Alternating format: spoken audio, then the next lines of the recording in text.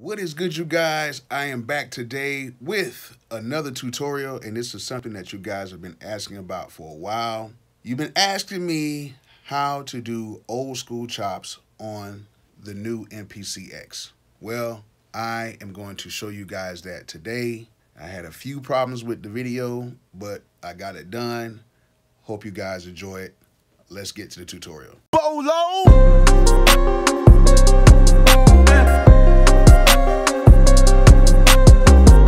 Side note, there's a lot of things going on. My camera's dead. My other camera is dead. And my phone is charging right now. So I hope you can see what I'm doing over here on the MP. But if not, just try to follow on the screen. I'm going to try to talk my way through this mess. But I want to do this video because if I don't do it now, I won't have time to do it. So first thing we got to do is we got to find a sample, which I found a sample.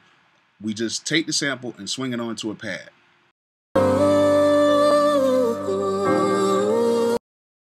Okay, so we like that sample. You know, when you swing onto the pad, it's going to play. If you want to stop it, just press the stop button twice. So we like that sample. Now we have to edit the sample. There's two ways to edit. You can click on this edit button right here, or you can just press edit sample right here on the MP, and it'll take you to it. Okay, now we have to chop the sample.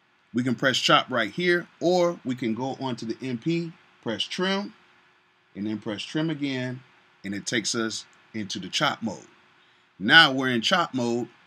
We just press the pads that we want to chop it to. So we add the first slice on this pad, second slice on this pad, third slice on this pad, and so forth and so on.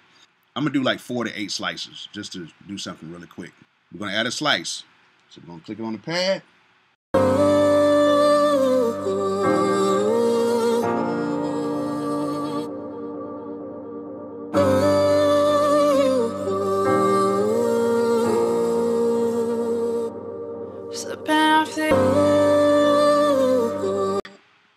All right, so I sliced that real crazy.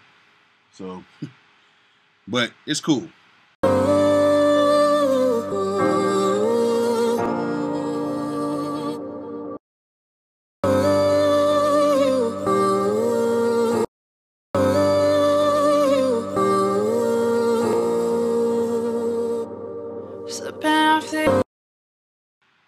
And the good thing about this is you can adjust these slices in here. So you can move this back and forth.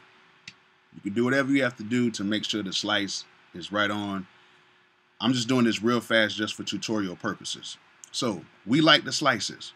What we have to do now is we have to save it into a program. So the easiest way to do this is to go into your MPC-X, click shift, and then go to convert.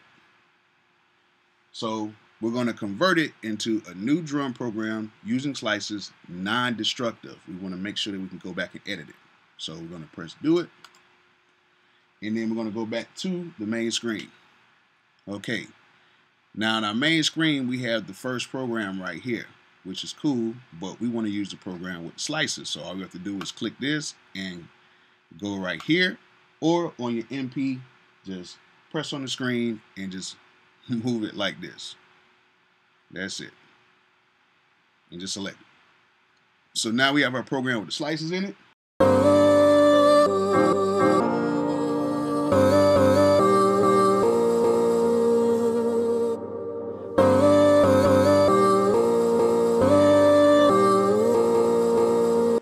So we have something that we like.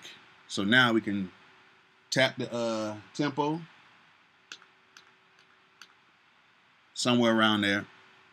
At 42.52, which I like to leave it at even numbers.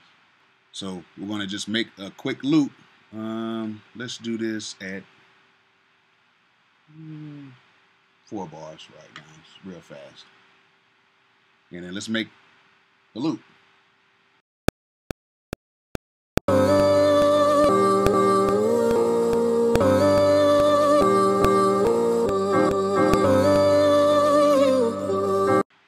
Now let's play it back.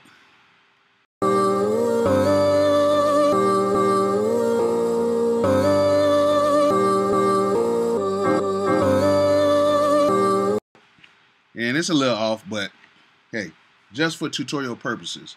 Now that you've done that, now you can add drums to it. And you know I'm going to add some drums to it. So let me go ahead and go to some of my drum programs. I got them saved into MPC documents. I made a whole drum program, Bolo Trap Burner Kit. Let's add that. Let's go to track two. And let's select that.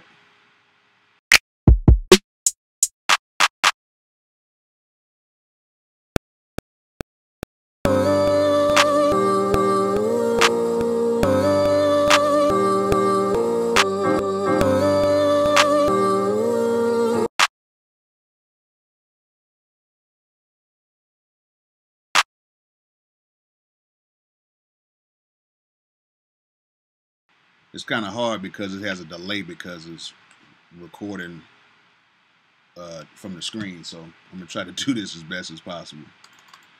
So let's add a kick.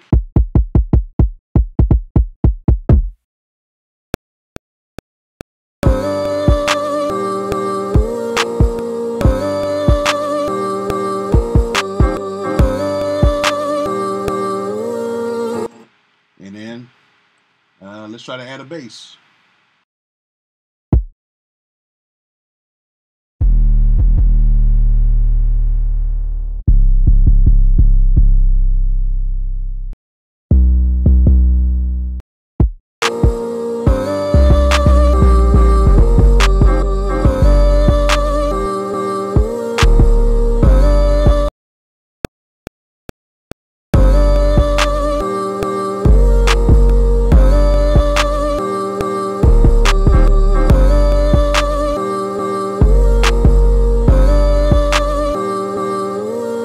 Okay, hope you guys enjoyed the tutorial. I hope you learned something from it. If you did, please hit that like button. Please hit that subscribe button. Please turn on those post notifications and please leave me a comment. Let me know if I'm doing something good. And as always, peace out.